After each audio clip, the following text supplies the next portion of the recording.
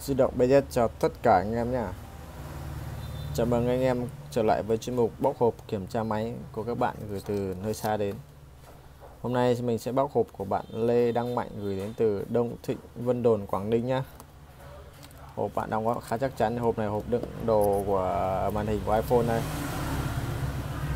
Đựng màn hình. Hộp đựng màn hình khá đẹp. Anh em cùng chúng ta với mình bên trong này là máy gì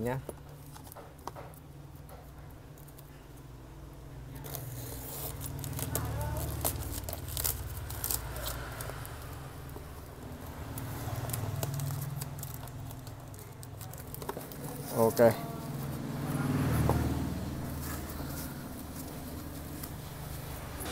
G7 Pro. Lút à? G7 cộng. Đúng không G7 cộng ấy bảo như là mất mic thì phải. Mình kiểm tra cho bạn ấy xem nào nhé Đấy, đã rào sẵn hết rồi. Xem có xử lý được cái mic cho bạn này không?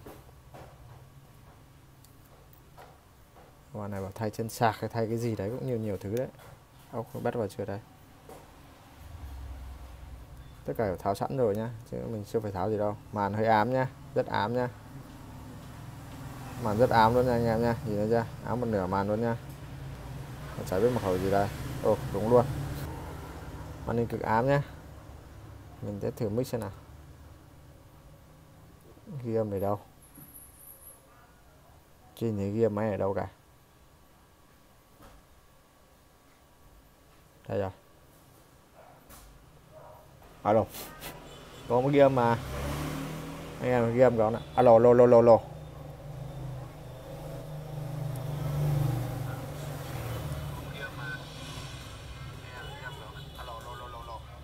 Đây, đây bảo gọi không có tiếng à? Thế thử gọi điện thoại vậy.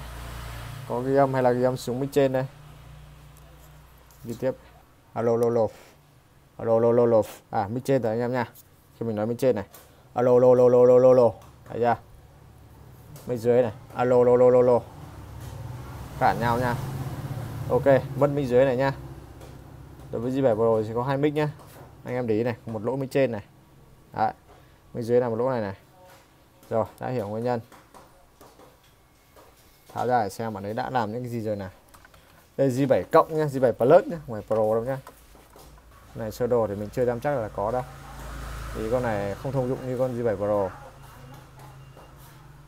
Nó nhẹ nhàng tháo cái màn này nha nâng niu tí nha màn zin nữa nha, hơi xấu một tí. Bọc lách rất nhiều. Bọn sang một bên không tí lẫn đồ của bạn ấy chết. Đây sim màn hình.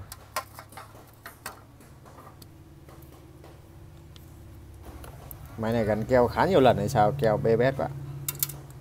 Keo khá nhiều. Anh em gắn keo, đừng gắn ở mép này nhiều nha vỡ màn đấy nha gắn keo này để một thời gian là keo cứng lại. Tì đè cái là vỡ. Vì tì thẳng vào mép màn hình là màn chết rất dễ dễ chết.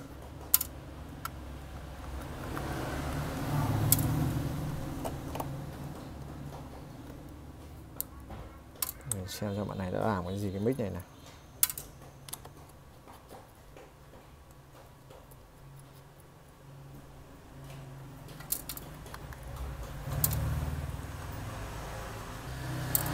mà này thiếu gửi thiếu 12 phiên bách nhé,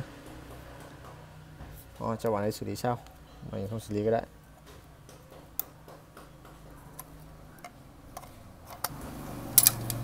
Rồi mic 3 giây bạn ấy câu đây. Câu ba chân đây. Vẫn không có tiếng đây. Mic câu xong rồi để chơi chơi ra đây. Ba sợi dây nhưng mình thấy dây hơi ọp ẹp nhá. Đây dây có 3 dây đầy đủ nhá. Câu dây cũng khá mảnh đấy nhá câu thì vẫn đúng vị trí đấy. Thôi, mình sẽ cứ gạt bỏ đã. Mình gạt bỏ đi, mình đo đạc lại đã. Kiểm tra xem các đường đi thế nào. Đây, trước tiên kiểm tra mình đã thấy một thứ ở trên này bay mất rồi này. Đây, một con linh kiện gì đã mất là một này. Nghi ngờ này. Đây nha nghi ngờ nha nghi ngờ nha nhắc bên là kiểm tra nha pin là pin thay rồi nhá. Pin đã thay rồi nhá nhấc bên ra xem mặt dưới của bên ra làm sao. Sao đã sửa những cái gì? Đây, chân sạc đã đóng rồi nhá. Ok, được rồi, để mình xem cái đường mic đi làm sao nào. Để mình xem đường mic nó đi ra làm sao nhá. Anh em nhìn nha, sơ đồ của nó nhá. G7 cộng này, là G, là C1710 nhá. G7 plus là C710 nhá. À C710 nhá đây, một đường mic này. Mình đầu tiên mình sẽ đi xem cái con vừa mất là con gì này. Con vừa mất là con đâu rồi đây vị trí cạnh cái con này. Mất con nằm ngon ngoài cùng. Đây, là mất con C này. Em để trong con C ở đâu nhá. C này, nối lên trên này à? Đường này đường gì đấy? AV AUD à? đường này à, đường này đường này đường liên quan đến đấy mic BS đây liên quan đường tai nghe. Liên quan đường tai nghe anh em nhé. Như này có thể là ví dụ tai nghe chẳng hạn, thì anh em có nên đóng vào nhá. Này, em em RX này, đi sang giả, đi qua con L này này. Đi rất nhiều đường, lòng vòng. Nói chung là đường mic thì có ba đường chính này. Đường thứ nhất này. Đường nhất đi thẳng lên đây này. Em thấy chưa? Đường thứ hai này ba chân thôi. Hai đi đâu? Lòng vòng đi đâu? Đi sang đầu này. Đây. Mic đây. Đi sang điểm này. Đi qua L này sang điểm này. Rồi, cuối cùng vẫn chạy lên đâu đó trên này. Đây. Và đi vào xe nguồn nha anh em nha Đấy. còn chân còn lại của nó này. Đi qua điểm này nhiều con DZ chỗ này cần thiết anh em bẻ bỏ DZ đấy nha. Nghi ngờ nếu chạm mát cái kiểu bẻ bỏ ấy nha. Đi qua con L này. Đấy. chỗ con L này thế sáu con tụ này này. Giờ bắt đầu đi về phía y xe nguồn này. Đấy, đi qua đây rồi về xe nguồn này. Không có L ở trên này nữa nha. Đấy, vẫn cùng vẫn đi vào xe nguồn. Ok, bây giờ mình sẽ gạt vào này mình đo lại này. Gạt sạch cái bạn ấy đã làm nhá. Cho nó dễ hình dung nhá.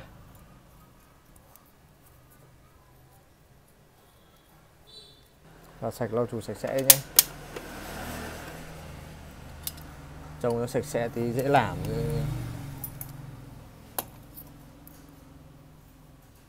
Cũ bỏ đi này.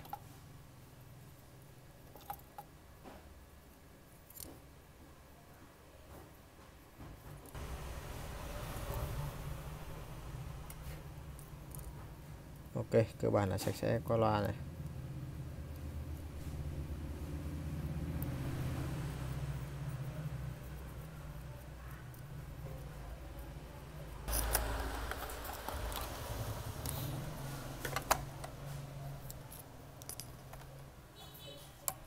Tao thử xem đúng thông số, số nha. Chân này là chân mát chân này. Chân này không chờ này chân này có chờ nhẹ này. Thấy không? Chân này hiện tại không có trở nha. Mình sẽ đo lại ngược trở kháng nha. Không có trở nha. Em vặn trở lên vặn thang đo cao lên một tí nữa xem có trở không. Vẫn không có trở bắt đầu dò theo sơ đồ nha. Chân số 2 cần thiết cứ phải dò cho chắc nha. Chân số 2 này. Nó đi ra con L ở góc này này. Đấy. mình sẽ đo đầu con L này, này L này này. Không có trở nha. Hai đầu đều không có trở nha anh em nha rồi bắt đầu đo đầu còn lại xem dẫn đi đâu nào. Đấy, về tiến hành mở cái lồng trên này ra kiểm tra này. Đi thẳng với xe nguồn này. Bình thường đường này chắc chắc chắn phải có chở anh em nhé. Nếu như đường này không có chở thì nó hơi vô lý. Ở chỗ là đi thẳng với xe nguồn kiểu gì phải có chở. Thì bây giờ mình sẽ kiểm tra thử chân của con này trước đã mình sẽ đo lại chân con R con này nha lại chân này nó chờ lần nữa không nhá. Mấy khi mất chờ đâu.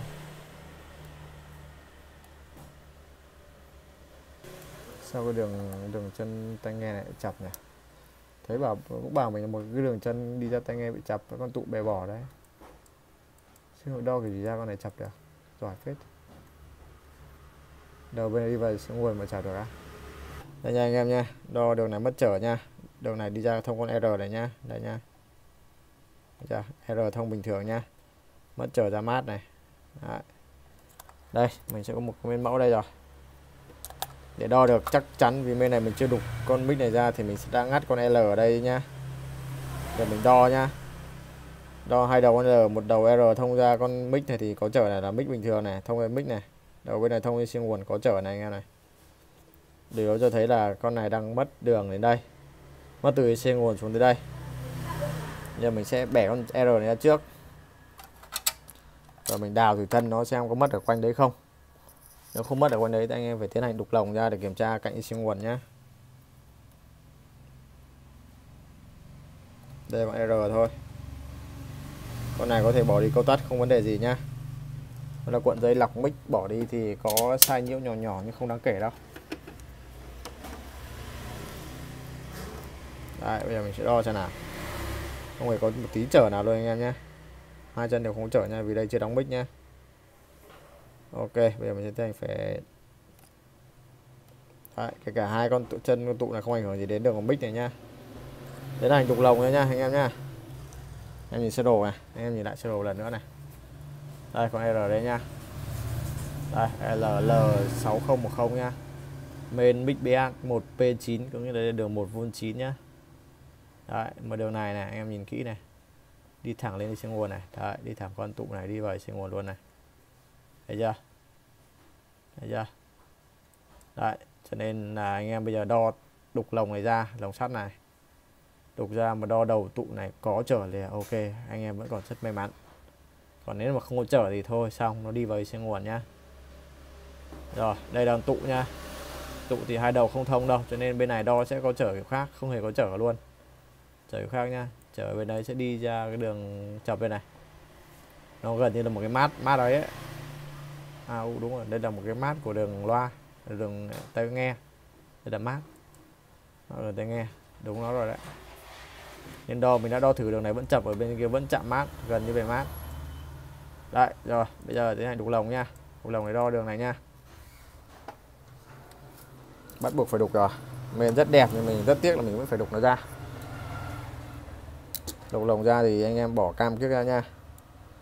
Tác động nhiệt vào phải cảnh giác nha.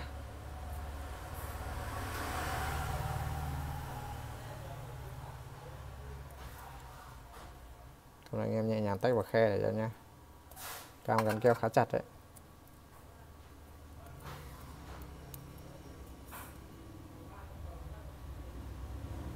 Thật thật đấy, đùa đâu.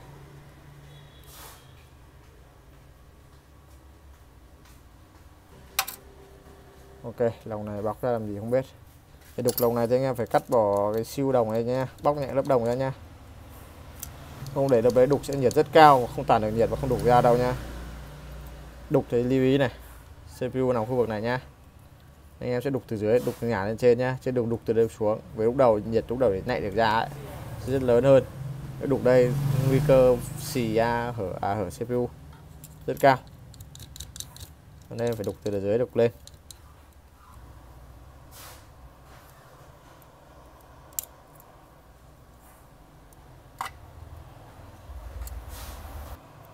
sẽ bóc lớp đồng tản nhiệt đi nha mới đục được nha đục lồng một là khá cứng, đục lồng cẩn thận nha. Kho mình đang để tận 360 độ mới ra đấy nha kho vào cái lực lạnh nữa nha.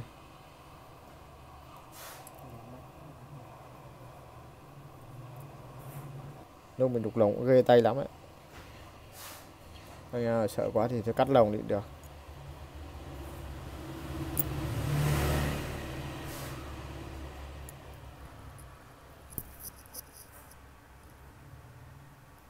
Kinh 380 độ cho ra này căng phết đấy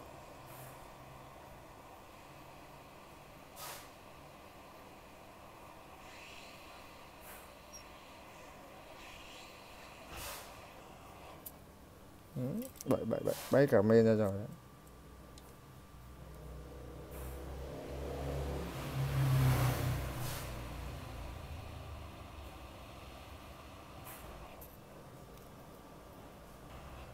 đục lồng đối với Samsung là cả một vấn đề đấy anh em nhé lồng nó quá cứng, quá nguy hiểm.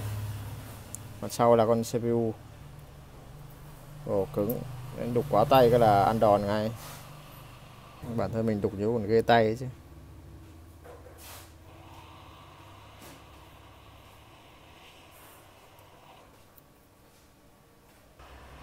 Không phải quá dài. Kẹp này của mình nó không được chắc lắm đây đây em có thể đã có thể đo được bên dưới rồi đấy. Mở ra đây nhìn thấy con tụ này để đo rồi này. Đây đo con tụ này này. À, đục nốt ra đi. Để này ai đục đây lừng lờ lừng lờ lờ này.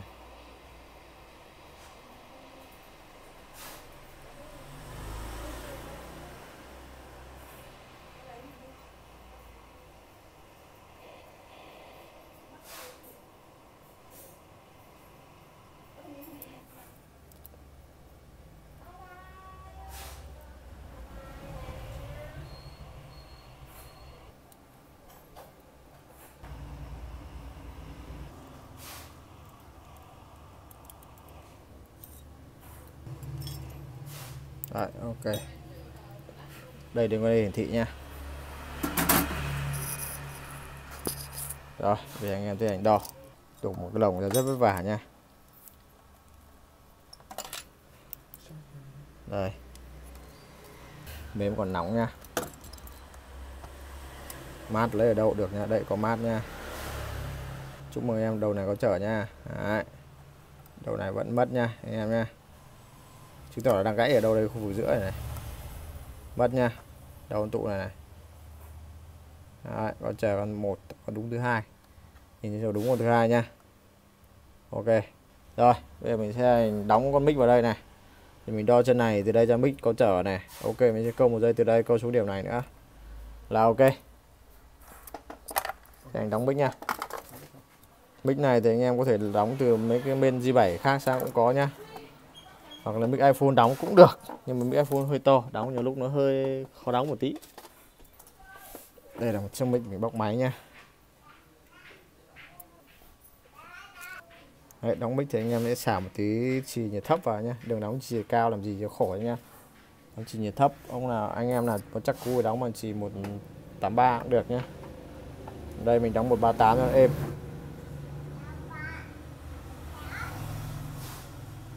Đóng chì nào cũng ok hết quan trọng là mình đóng thế nào thôi.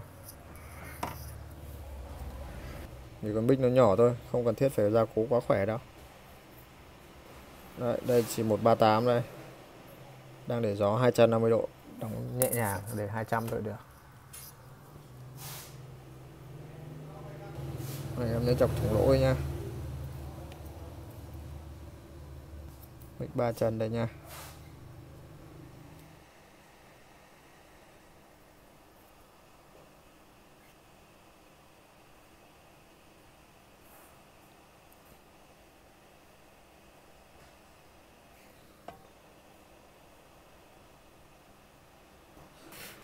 ok phẳng phiêu sạch sẽ đẹp đẽ cho anh em mình đã đóng xong bích nha. Giờ anh em phải đo lại này. Em tiến hành đo luôn cho mình này. À, mình nhấc cái bên ra dễ đẫn nhìn này.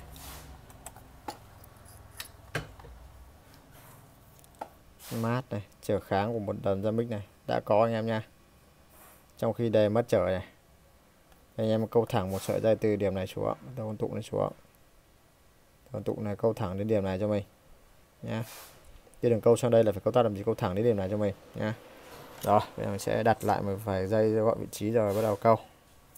Cái này đang bị mất cái lồng bên trong rồi, không có gì giữ đâu. Anh em lưu ý điểm này cho mình nhá, tránh tình trạng chập này. Đây này có một dây thép này này, sẽ hàn điểm này dính lại. Không bị chập vào trong là hơi mệt đấy nhá. Vô tình có chập phát là thôi, xong cả anh em đấy nhá. Có khi chập không chết đâu, nhưng có khi chập nhẹ chết ra đấy thì khổ không?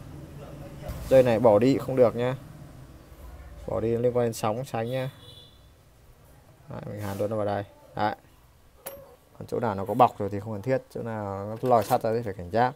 Là chỗ này không cần gì đây cả. Đấy.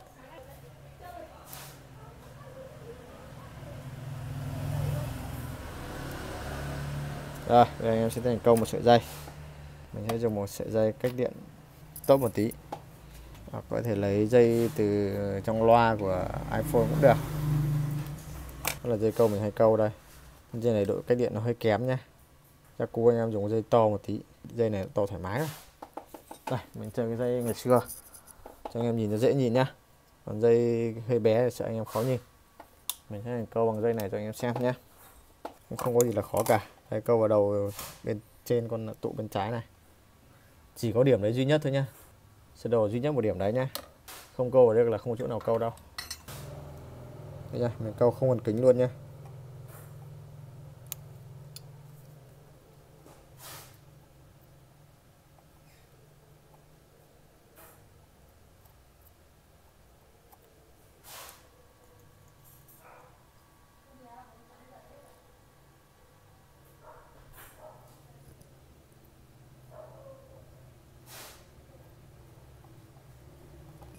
Chân này hơi to một tí nhưng chắc vẫn phải ghé lại bằng kính cho chắc.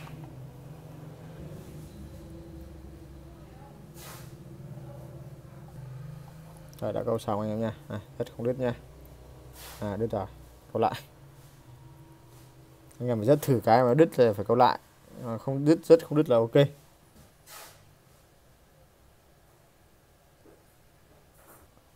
Nhưng có những điểm rất khó câu vì dây to quá thì to sẽ thiếc sẽ không ngấu được kín cả cái dây.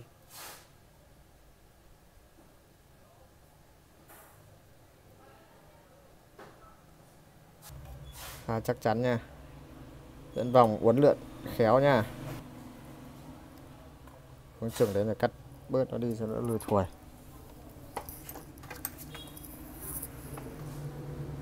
à, thì anh em câu đốt đầu này. Đầu này anh em câu thẳng sang chân bên trong luôn nha. Đường câu bên ngoài mình khổ ra nha.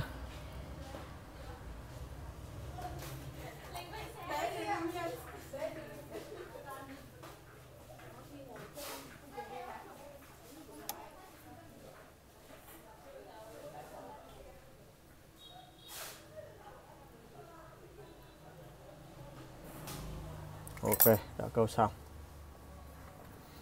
Bây giờ công việc còn lại lắp vào và test bây giờ mình sẽ lắp vào cho em xem nha lắp vào và test nhé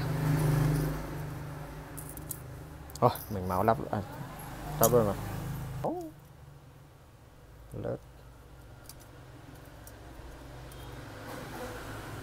lựa dây này gọn vào nhá tránh tình trạng đục đứt linh tinh nhá.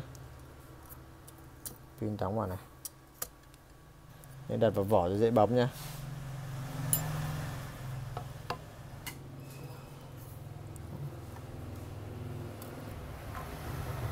Mic ok. Chọn lỗ mic trên, lỗ mic dưới, ok, đều thông hết nhá, không tắc lỗ nào cả nhá.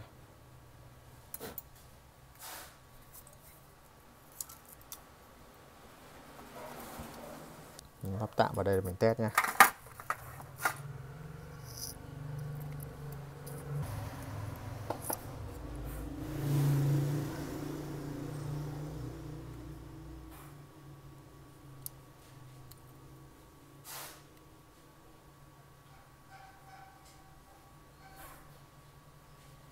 chưa chạm vào chân lúc nguồn để bấm mà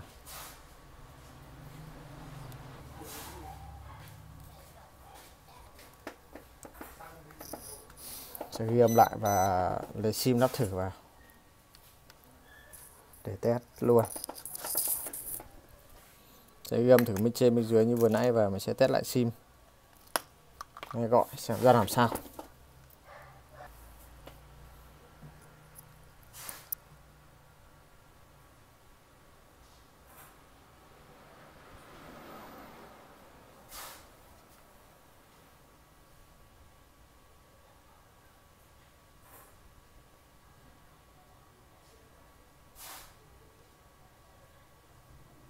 Alo alo alo alo anh em thấy chưa?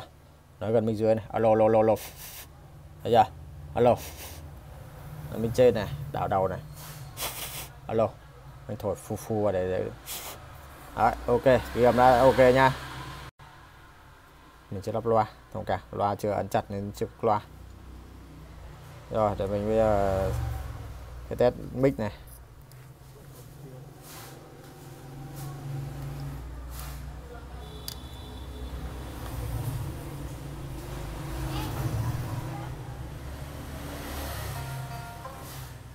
Alo. Alo. Alo alo ngon chưa anh em alo alo bật loa ngoài này. Alo alo alo alo alo alo alo. Loa ngoài mic này hơi kém. Alo alo mic trên hơi kém khi bật loa ngoài.